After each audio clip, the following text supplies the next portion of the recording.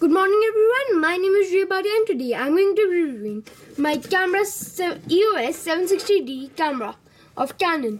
Okay, I'm not sure if I mentioned that before.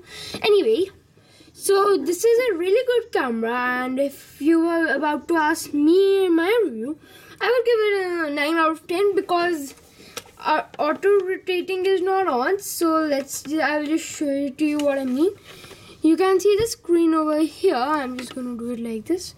Switching it on. And as you can see I'm gonna try and unblur it. As you can see it's upside down right? Which I did not want. I want it like the right side.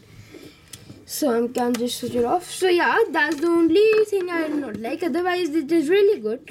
We can attach the lens reattach it and all that stuff so one thing that I got stuck with was how to charge the battery.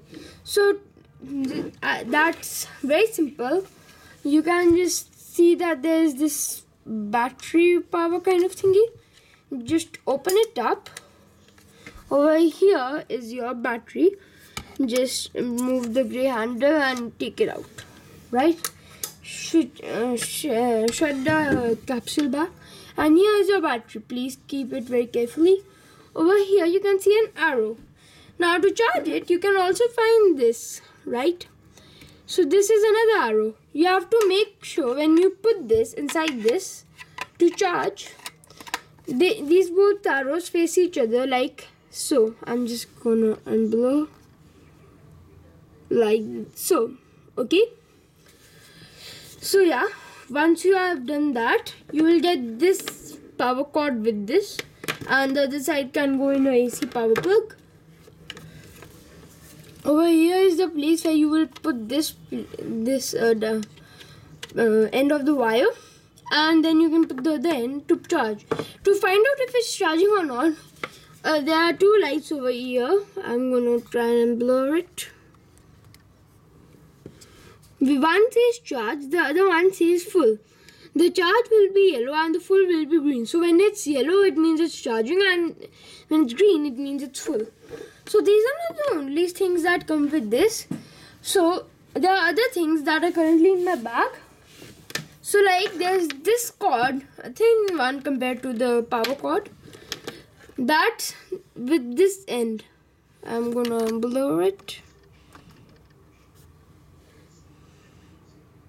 Um just one second take a bit of a time. Okay so now as you can see this is the end and one is this USB end. So this goes in your HDMI where is this? Where do you have to put this? Well that is in your over at this place. You have to just open this up. And over here you will find uh, this one. So you have to place that inside this and then you can place the other one on your TV and you can enjoy the videos on this and share it with your family. So right and then there might be some other things that you get but other than that I just have this uh, bag kind of thing for this camera.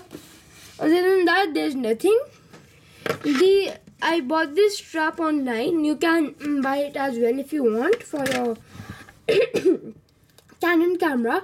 Mm, but other than that, this is a really good camera. Can zoom out more than a human eye can, and can zoom in more than uh, like almost all the other cameras.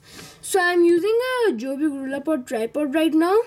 This is a bit too heavy for that, so you can keep that in mind if you have a Joby GorillaPod. I'm gonna uh, review that soon.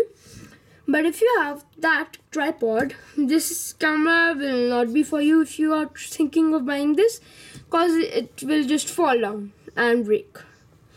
So right, you can also just uh, switch, uh, take off the lenses.